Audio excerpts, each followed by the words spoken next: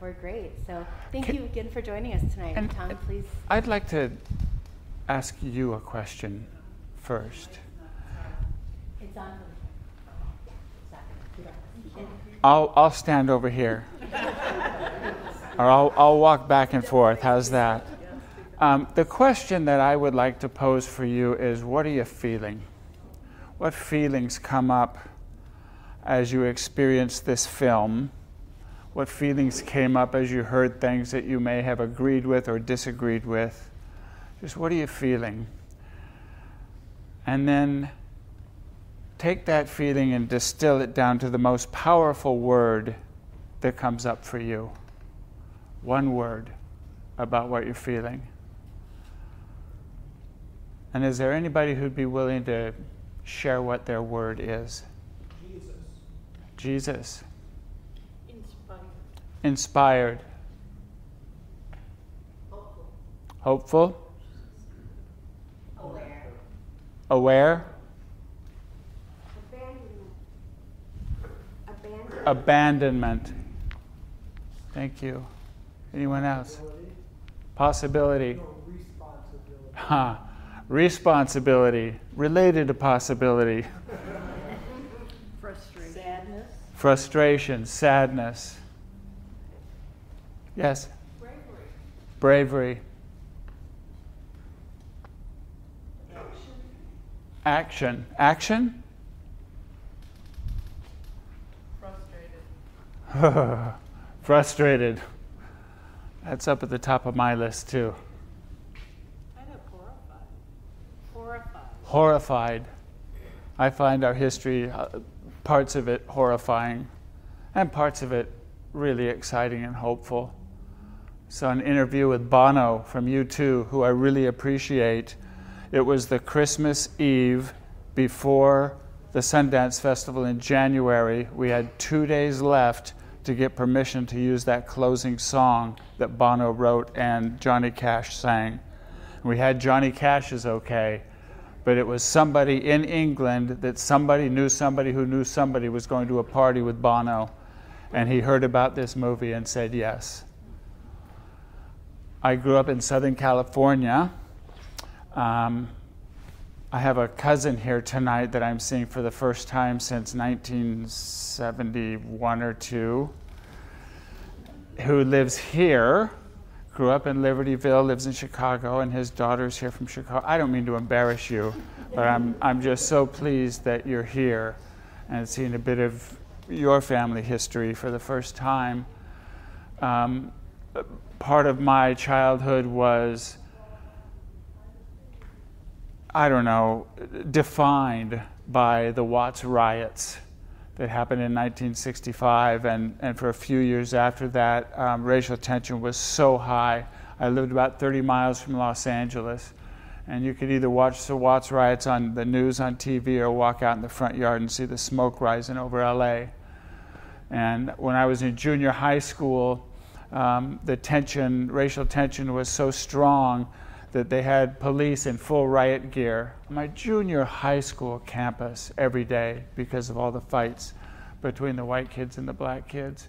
They had to stagger the hours between the junior high and the high school so that they would stay separated um, and not fight between the schools. And when people think about Watts who don't live in Southern California, all they think about is the Watts riots similar to Kenosha, people who don't live here now, all they think about is what happened with Jacob Blake, Kyle Rittenhouse, the riots here, the, the fires, the burnings. And I think about this day, April 4th. Many of you, I hope most of you, voted today in the Wisconsin election. Big day, right? The last president was arraigned today. Big day, right? By a black attorney general. 55 years ago today, Martin Luther King was assassinated. And here we are. And what do we do? What's, what's next? What's next? Um, one thing on the book table, I'm so glad that Samantha is here um, and that her bookstore is downtown. I visited today um, at Blue House Books, and We were supposed to have my first two books here, but the publisher screwed up. So they'll be here tomorrow. Um, but we do have book plates that I'd be happy to sign for anybody who wants.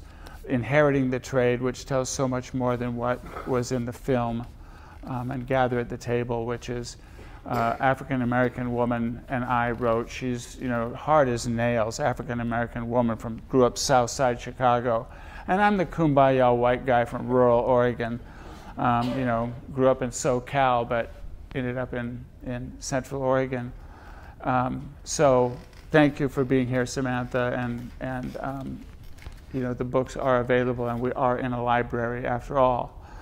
Um, so I'd like to open it up if you've got any particular questions about this journey, um, and maybe from those feelings that were expressed earlier.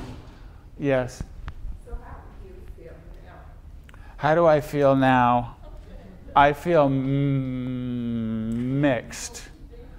Um, I'm hopeful. I'm hopeful when so many people show up on a Tuesday night, you know, after work, after on an election day, when so much is happening in the world that so many people hear this gives me a lot of hope. When I know that every single social indicator that we want to measure, from access to housing, education, health care, um, early childhood deaths, um, the treatment within and by the, the criminal justice system, it's a whole lot better to look like me than it is to look like my dear friend Jeffrey. That's a fact in this world today. And that part I, I still find so discouraging. I'm so discouraged by the amount of racism and sexism and all the, the isms and the phobias that we deal with in this country. Um, it, it is so frustrating to me the things that have been done in the name of Jesus.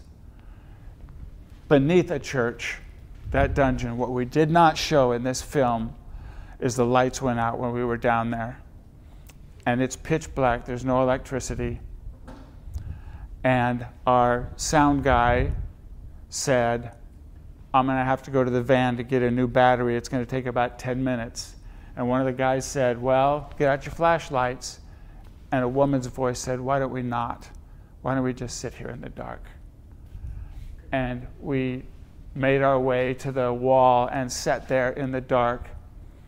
And I couldn't see I, I couldn't see my hand. It was it was pitch black and you're five degrees from the equator. It was 100 degrees and 150% humidity.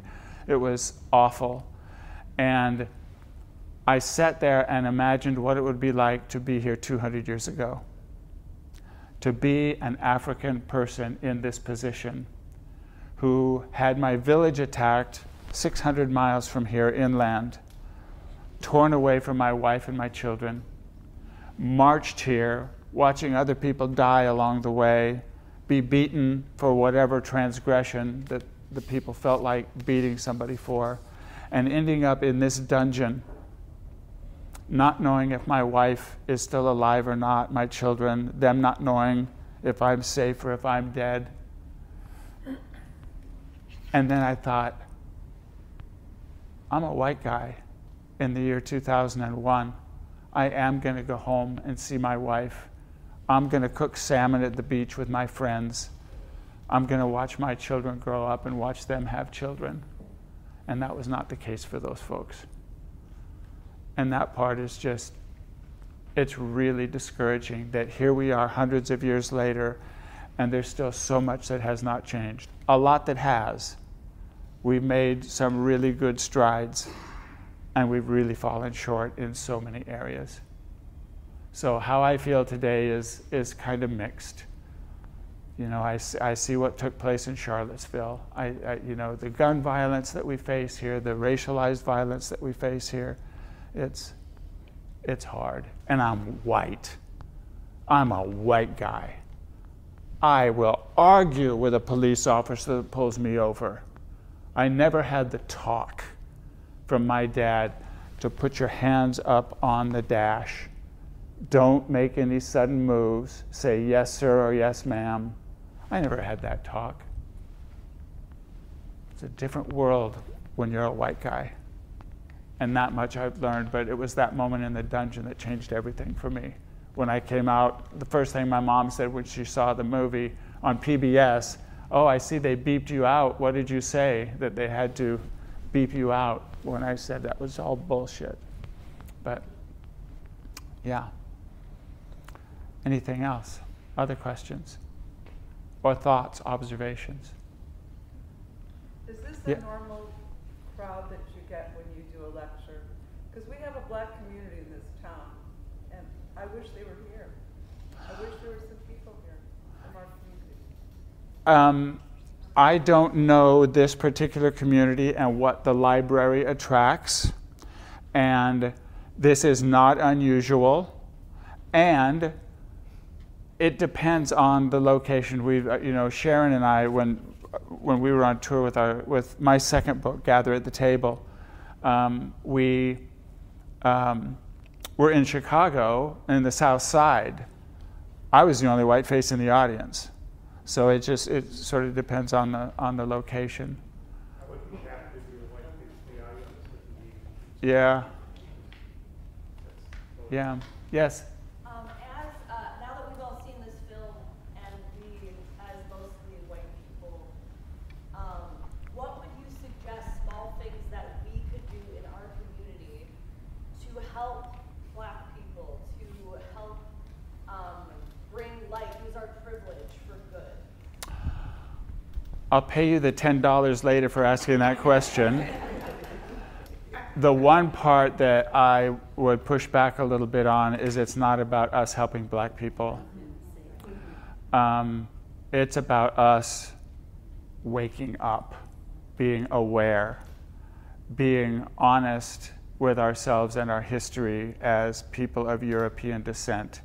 What we did to Native peoples here, African peoples here, and across the sea, um, Mexican people here.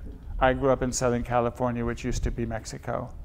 And the reason we fought the, Span- the, uh, the Mexican War was because Texas wanted to bring some of their enslaved people to work their land in Mexico, and Mexico said no. So we went to war and created Nevada, New Mexico, Arizona, California over slavery. We don't think about these, these kinds of connections. My dad was a huge beneficiary of the GI Bill, which is, oh, let's reward our returning servicemen at the time, and now servicewomen. But when the GI Bill was first passed, 98% of the money went to white GIs, built the suburbs. People, white people left the, the, the urban centers, which decayed, and moved out and created all these suburbs. And out in these suburbs, what do we pay for schools with? Property taxes. Where's all the value? Out in the suburbs. Who lives there? All the white people. Where's all the good schools? Out here. Brown versus Board of Education. Let's get rid of segregation in the schools. Sounds great until we look really deeply at it and find out that within about eight years, literally half of the African American teachers in the United States were fired. The black schools were closed. Many of the white schools closed and started parochial private schools, Christian schools, in order to not have their kids in school with black kids. So there's, there's always more to these stories. What can we do? The thing for me was at the end of this, um, in Ju- January of 2008, just before the film came out at Sundance and just before um, my book came out, which coincided with the release of the film, is we were invited to Eastern Mennonite University, the Center for Justice and Peace Building in Harrisonburg, Virginia, to be there for the opening weekend of something they called Coming to the Table. And I've got um, bookmarks back on the, the book table, both with my website and with Coming to the Table's website. Um, coming to the table became the now what, the answer to now what for me. It's, it's um, an approach to racial healing that looks at all of our history honestly, openly, without shame, without hiding things, just looking, being honest about our history, building relationships both within and across racial lines, authentic, accountable relationships, not let's go Bucks and you know build it on sports or what have you. It's on it's on important issues to our humanity, and then to work towards healing together by any means necessary. If it's your faith community, if it's your yoga class, if it's your art, your writing, your music, your prayers, your meditation, healing by any means necessary. And then the fourth pillar of the approach is taking action to address these issues, to address the racial disparities that continue to plague everyone in this country. And it's our, it's my liberation as a white man that will be the ultimate beneficiary of this. And the, the little book of racial healing lays out this whole approach. It explains strategies for trauma awareness and resilience to understand what trauma is and how, when we don't heal our wounds, we give them to our kids and our grandkids and our great grandkids, and thus we are where we are and where we will be 100 years from now if we don't address this. Um, using restorative justice principles, not criminal, retributive justice, but how do we restore? How do we restore things to the, to the best that we can? And have agreements together in our communications on how we're going to treat each other. And all that's laid out in that little book there. This, you know, in 2008, this started, and here we are 16 years later. Um, there were two dozen of us at that time. There's now about 6,000 members nationwide and about 50 local affiliate groups. None yet in Wisconsin. And, uh, but you can go to the website to join Coming to the Table. You'll begin getting the newsletter, all sorts of resources. The website is rich with what can I do next? Rich. There's a like a 30-page reparations guide on things that individuals and groups can do. Yes, Brandy. I'd like to build off that question just a little bit. Uh-huh. One of the things that stuck out to me in both my watchings of the documentary is that moment when we're sitting around the table with all of you and we're talking about the privilege of going to Harvard. The privilege of going to Harvard. So as as people who undeniably have privilege in our community and in our society, what sort of tips, now that you're working in restorative justice, you're working in racial healing, would you have for us to have those conversations with our families and our counterparts? I think so often when we enter into the arena to look to start doing, whether it's restorative justice or social justice work, we often jump to the how do I help the group that's being oppressed, when really we should be, how do I change the mindset and level set the people with the same privilege as me to let these people have the platform? Do you have tips? Two, two thoughts. One is more important than even me helping you. Oh, another white person, let's have a talk and I can help you. No, it's me. I'm the problem. I'm a white man. I am racist. That is the truth. It's, it, I was raised this way. It's in my DNA. I mean, today, it would not surprise me if I'm walking down a dark alley and I see a, a big black man coming the other way. If I'm going to, when I was younger, I'd have run away. And now it's, but I, I would think about it. It's, it's in my DNA. And so, how do I deal with my own issues of racism and sexism? You know, how do I treat my wife, my daughters? How do I treat my female friends? Why is it still today, if you and I at two separate times go to the used car lot in Kenosha, look at the same car, I'm going to get a better deal than you are. It's out and out sexism, but that's reality.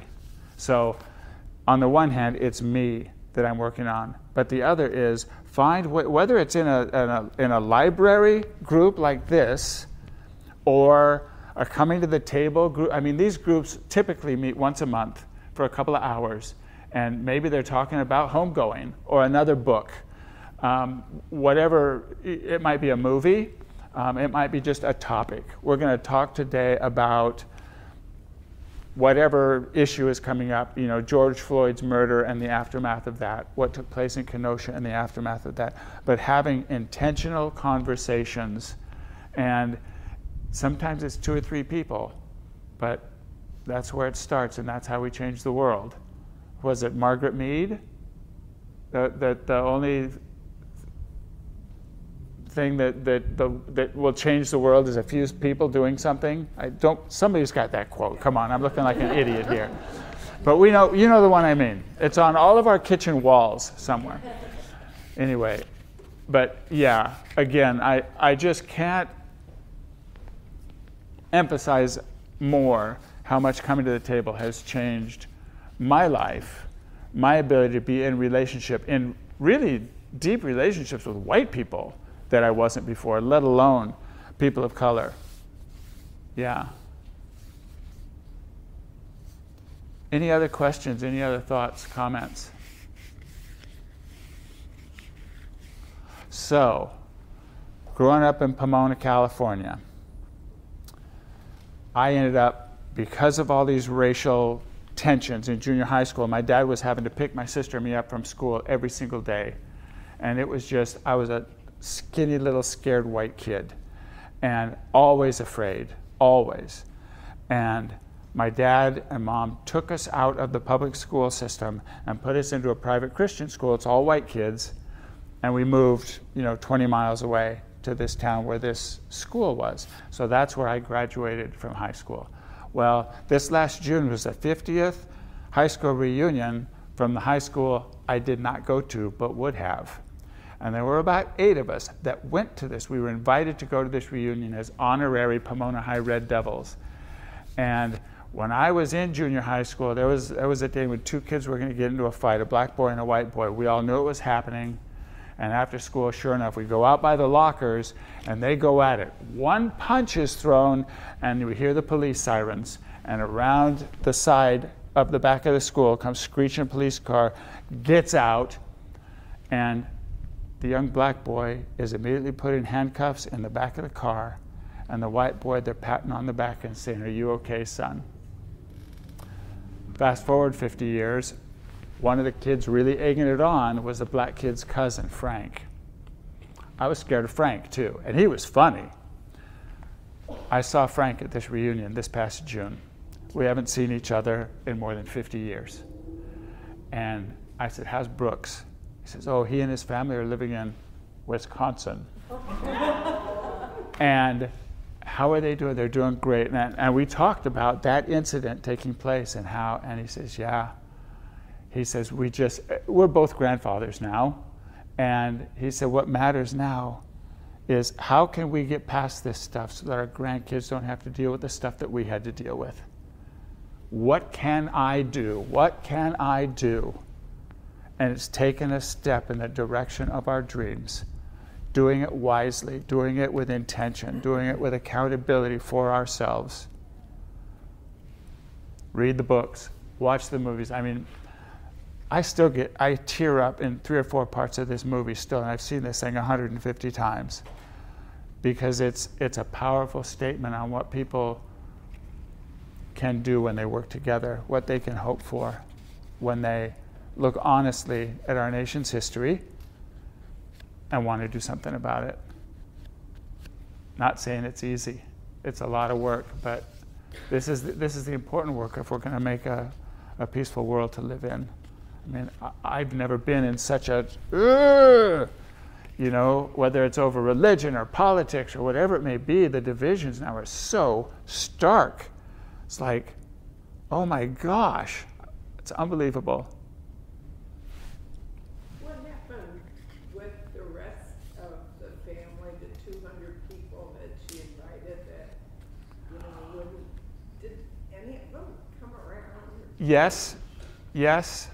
All but she mentioned the one guy who was so horribly offended. Yeah.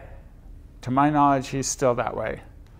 Um, but they didn't show this, but it's in my book I write about. We had a whole weekend where we invited those folks to come, and about 40, 50 people came to Bristol that didn't go with us to Ghana and Cuba and did a whole weekend's worth of, of work together and, and, and filming that ended up on the cutting room floor.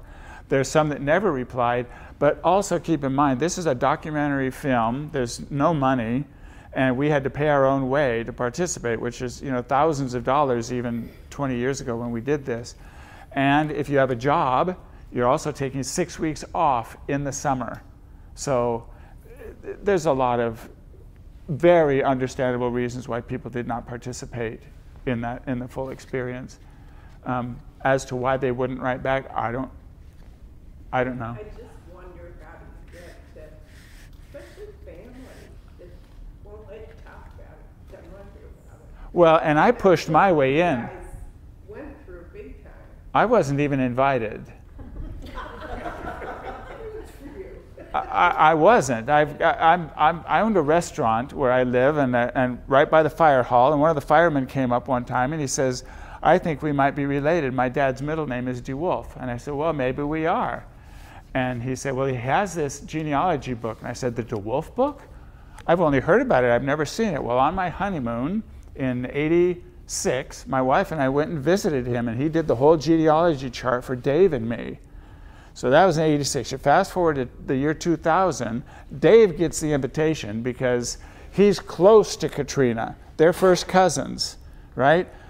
I'm her seventh cousin. She does, we could get married and have children and nobody would know.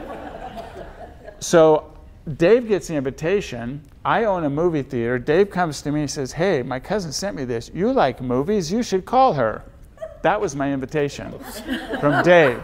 So I called her, and she was living in um, Berkeley at the time, going to seminary, and in California, Central California. And I was going down there to go see um, Billy Joel and Elton John in concert together. And said, How about if I stop by? And my wife and I spent a couple of hours talking with her, and she said, Oh man, this is fantastic. You've got to go. And I said, Great. And she says, Just find out how you're related to the slave traders. And I said, Well, I'll ask Halsey. He'll tell me, the, the Dave's dad.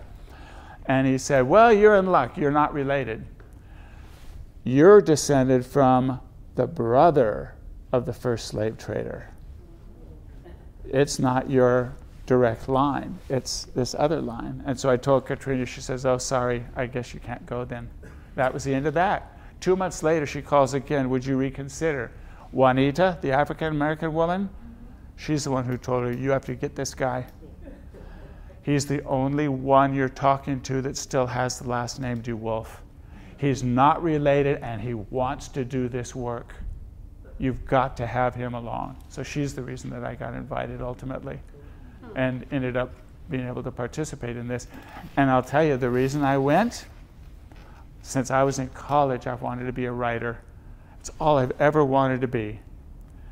And when I saw this opportunity, I thought, finally, I've written 17 different books that are never going to go anywhere. This is a story. And sure enough, Beacon Press picked it up when the, and published it right when the movie came out and, and helped me be able to be here with you. Yeah. Take, take our chances when they're offered to us, right? Anything else? Don't be shy if you've got something. Last chance.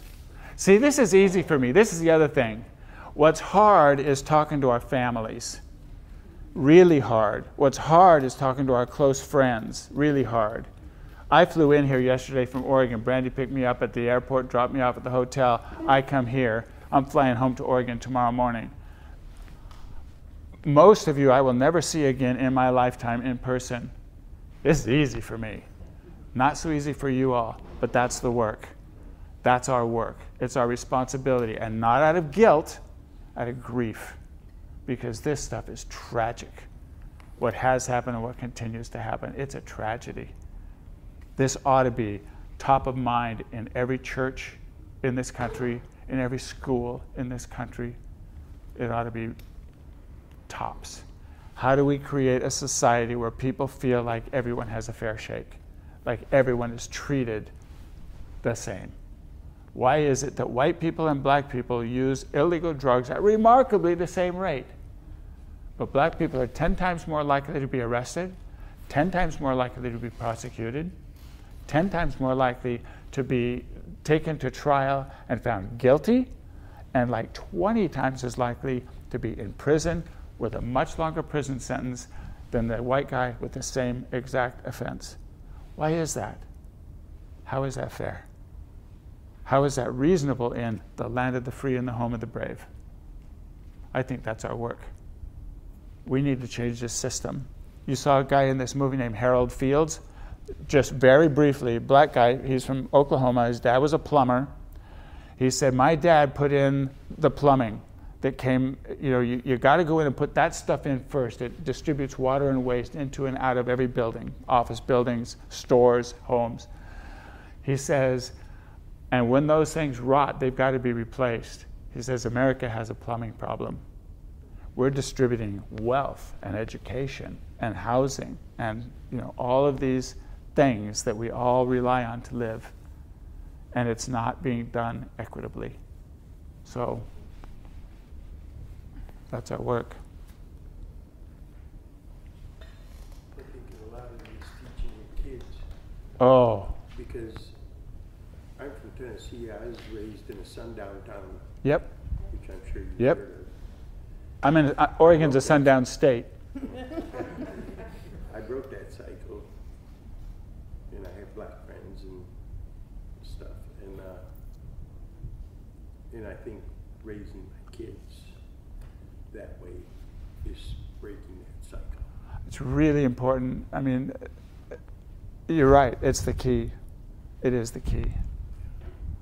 I mean our children that's i talk to my kids about this stuff and uh, i mean the first time they saw this film it was hard. I mean i've had people tell me Ugh, i'm really glad i'm not you. I wouldn't want to be related to those people i said do you suppose your um, ancestors wore cotton clothing ever think they drank coffee put sugar in their tea ate rice the entire world economy was based on slavery the way it's based on oil today.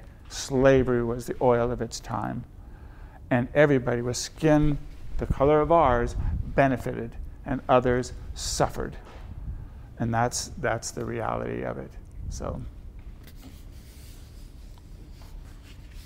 thank you so much for being here. Thank you for staying. I have to say, when I first reached out to Tom when we were planning our homegoing um, events, I was just absolutely thrilled that he got back to me right away to hear about coming here. And we had the great chance to chat a couple different times, and the entire ride from O'Hare to Kenosha yesterday. I don't think we stopped talking for a No, moment. yeah. Um, and I knew the moment I talked to him that bringing him here to share this story, um, to share of himself, and to share of the work that we as Republic Libraries believe in and do on a daily basis uh, would just be so monumental and a great way to kick off our big read. So I'm going to let him go get a drink of water and get ready to sign books. But before I release all of you, I'm going to remind you that we do have more programs for you this month. If you have not yet picked up your program guide, we have some in the back. A few of note would be April 10th, we are bringing in Dr. Paige Glotzer from UW Madison to do a programming program on the history of redlining, real estate, and race. And she's specifically pulling data from the local area here in Kenosha, which is fascinating to see. And then May 8th, we'll be having Yaa Gyasi join us virtually um, for a virtual program and discussion to talk about not just her book, um, but where she feels now, having written this book in 2016 when she was just 26, and now looking at what we've all been through in the last few years, um, what she reflects upon, what might have changed if she was writing it now, and just the different themes and characters. So thank you all again for being here. The kickoff is amazing. Oh, please. One other thing about Oregon being a sundown state, when, when we were considering becoming a state, only white landowning men could vote. And there were three items on the ballot. One, do we become a state of this union, which passed by like, was like 75% yes. Are we going to be a free state or a slave state? We're going to be a free state by even a little more than that. Third ballot measure, are we going to allow free black people to live here? Almost 90% said no. So we remain one of the whitest states in this union as a result of that. That was in the books until 1937, that it was in our Constitution in the state of Oregon. So there's a lot in yeah. our history to dig into. If you're ever looking for resources, your public library is your public library. You're in the right. Thank you, folks. Please help yourself to more refreshments and go visit